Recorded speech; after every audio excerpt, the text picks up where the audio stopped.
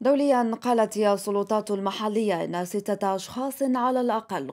قتلوا وأصيب 24 آخرون الاثنين بعد إطلاق نار خلال استعراض بمناسبة الاحتفال بعيد الاستقلال في إحدى ضواحي مدينة شيكاغو الأمريكية. وأعلنت السلطات الأمريكية أنها أوقفت مساء أمس الاثنين شابا يشتبه بأنه أطلق النار في مدينة آيلاند بارك القريبة من شيكاغو على حشد من الناس كانوا يحضرون استعراضا بمناسبة عيد الاستقلال في هجوم أوقع ستة قتلى وستة وعشرين جريحا على الأقل.